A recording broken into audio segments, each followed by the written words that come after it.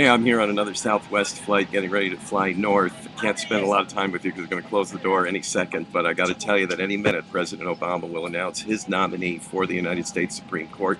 You know what that means for us. We're going to be over there with the United States senators. We're going to be in action. That's our mission field right there across the street from our ministry facility. They are our first parish, if you will, the nine justices. This is going to fill that uh, empty space created by the imminent departure of John Paul Stevens. Watch for news here at the website on my blog. We're going to keep you posted in the next few hours. See you then. Gotta go. They're closing the door.